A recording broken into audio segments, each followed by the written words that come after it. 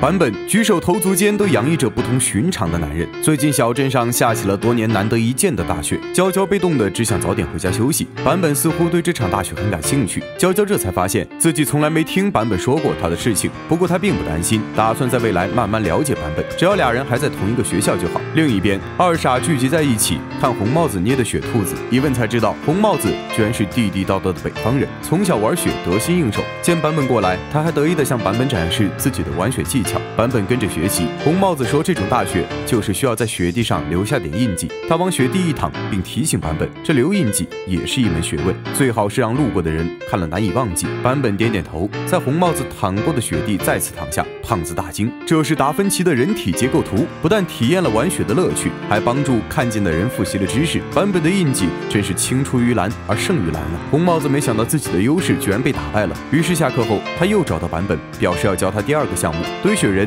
作为下雪天老少咸宜的项目，最简单往往才是最难的。帽子教的是基础，让雪人保持平衡，堆出最基础的平衡才是要紧事。版本有样学样，在看到成品过后，红帽子夸奖新手能保持对称已经很不错了，但版本却觉得姿势不够飒爽。当即用雪球堆出了标准九头身遮遮力，红帽子绷不住了，就好像大家都去考试，你兄弟告诉你他第一次考，考前还没复习，你傻了吧唧安慰他放轻松去考，出了考场后才发现他居然位列第一。红帽子。觉得自己像个蹦跶的小丑。这时，深赖突然出现，红帽子吓得立刻起身问好，深赖却让他通过自己玩雪的强项，堂堂正正的将版本击败。红帽子深知深赖的脾性，他约了版本进行第三次下雪活动——打雪仗，利用雪球击中对方的玩乐项目。两人躲在雪壁堆积的屏障后面，胖子和刺猬头做裁判，两人冻得不行。草草宣布了比赛开始后，他们就躲进了房间，而门外两人开始了激烈的打打开，由红帽子率先发动攻击，版本左摇右晃躲开了飞来的雪球。随后，版本抓住机会发动攻击，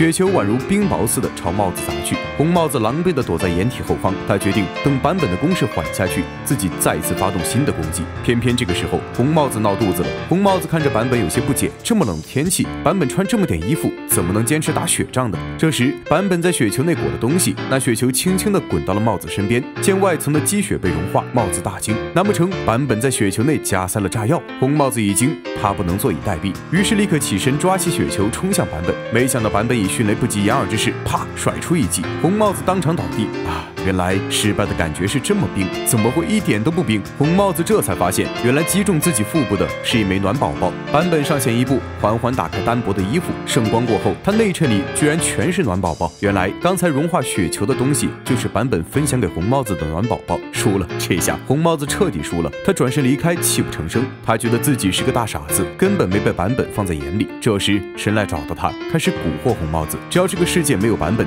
他就不用受伤了吗？高一的生活即将结束，班长将自己这段时间拍摄的照片拿了出来，他记录了班上不少人的回忆，但最受欢迎的还是版本的照片。其中，将乱放的雨伞当做插花的版本照片被奉为艺术之美。不仅如此，当初马拉松比赛中，版本在前方狂奔，眼镜在后面追，班长好不容易才拍到一张帅气的身影。班上的同学纷纷表示希望能复印一张照片。红帽子没忍住，举起了一只右手，但是他却赶紧按住自己那罪恶的双手。这时，二傻跑来找红红，说是八八二三学长找他们有事。红红因为版本的事情很纠结，便没有去参加会议。八八二三告诉众人，申赖今年还是不打算毕业。有小弟就问了，听说申赖学长作为人类已经转生了一万次，是不是真的？这种传闻并不靠谱，但申赖最喜欢玩弄人心。八八二三提醒小弟们，记得树立好坚定的内心，不然一定会被趁虚而入。另一边，班上女生们还在热烈讨论上次的海边旅行，大家都想要版本八块腹肌出狱图，班长却遗憾地表示，当时版本一头扎水里，他就再也没看见人出来过。早知道就带防水相机了。红帽子捡起飘落在他身边的照片，他捏着照片跑路了。说起这张照片，还有些故事在里头。当时版本跳入水中，要不是二傻拼命拉住了帽子，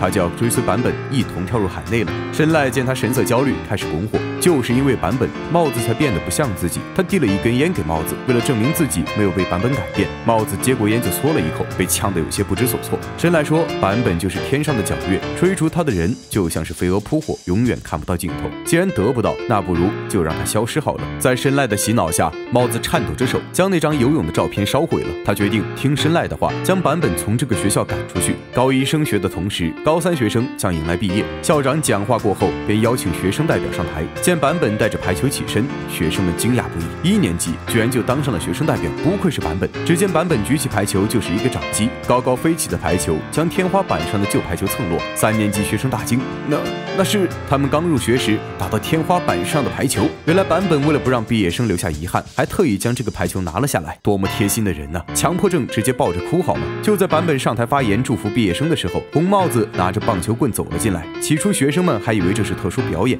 可红帽子来势汹汹，小田赶紧上前阻止，被一棒球将其自满的平头擦出了火星。之后帽子又吓退了两名老师。当校长试图阻拦学生的时候，神赖挡在了他们身前。小田老师已已经被打击到躺在地上。这时八八二三和二傻子等人赶到现场，他本想上台将红帽子拖走，没想到版本却比了个虚。他毫不慌张地拿起话筒，准备继续演讲。面对帽子的攻击，版本告诉三年级的毕业生，在遇到困难时，他动作娴熟地抄起旗帜，将帽子引诱到帐篷外面去。不要心慌，只需闷头前进即可。学生们惊喜，原来这是安排好的演出表演啊！娇娇却看出来这是临场发挥。台上，红帽子还在找茬，版本却一边演讲一边躲避红帽子，并将这种行为称之为找不到方向时期的迷茫。同时，通过弹奏钢琴，让帽子的棒球棍有了一个合理存在的借口。众人都被这精彩的演讲所打动。版本爬上高台栏杆，躲避红帽子的攻击，将演讲带到了最高潮。谁知帽子打人不成，居然一个重心不稳，脚卡在栏杆上，自己摔了下去。版本难得惊讶，他一把拽住掉落的红帽子。学生们震惊，这是帽子脚腕勾住栏杆，两人组成了世界名画。然而不满被救的帽子抄起棒球棍砸向了版本的手臂，让他立刻放手。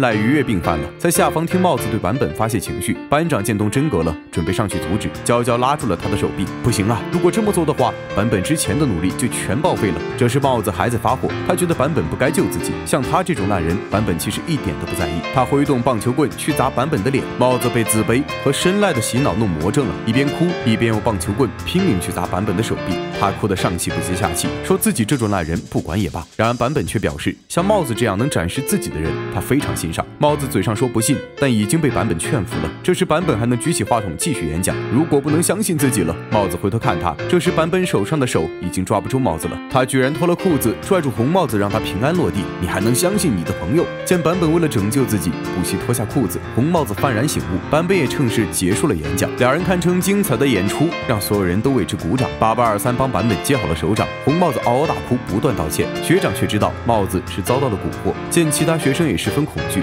版本决定去医务室处理伤口。他在这里见到了深赖。深赖今年还是不准备毕业，在他看来，毕业后的社会是漆黑的，看不见未来的深海。那些抱着梦想毕业的学生，都将是溺死在海水中的可怜人。其实深赖嘴上说的好听，不过就是在逃避现实罢了。所以版本说他格局小了。如果是版本，他就会投身于大海中，选择寻找能够寄托希望的新大陆。俩人不欢而散。版本出来后，就见八八二三在那边捏拳头。他打算为了学弟们和深赖同归于尽。不过版本倒是提供了一个意见：当三年级学生毕业离开大会堂的时候，八八二三带着一群小弟走进了会堂，当即下跪举手，并大声对申赖说：“恭喜学长毕业，希望他未来能在漆黑大海的惊涛骇浪下找到灯塔和新大陆。”申赖并不搭理众人，转身准备离开。没想到版本四级已旧，此时上前就是一个秘技膝盖冲击，申赖防不胜防，倒在了众人准备好的惊涛骇浪上。家长们纷纷举起手机拍摄，申赖不但被自己人强制送走，还遭到了家长和学生之间的社会性死亡。毕业记录落幕，红帽子的行为被当作是表演，最后并没有遭到学校的处分，申赖也再也没有出现在学校。有人曾看见他带着冲浪板在海边眺望，也不知道是不是真的在寻找希望的岛屿。毕业后，一个惊人的消息传遍学校，版本称收到了某宇宙开发组织的邀请，